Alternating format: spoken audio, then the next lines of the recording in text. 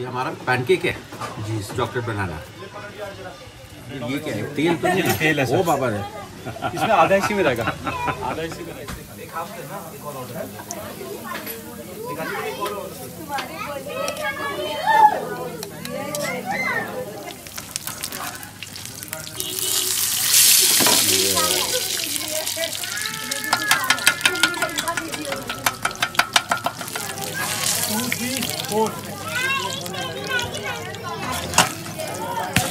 और सर कैसे हैं? बढ़िया सर। कुछ भाई भाई। एक मिनट में आ रहा है बस। और इसमें कांटे रख देना देख। बस बस बस बस बस। Thank you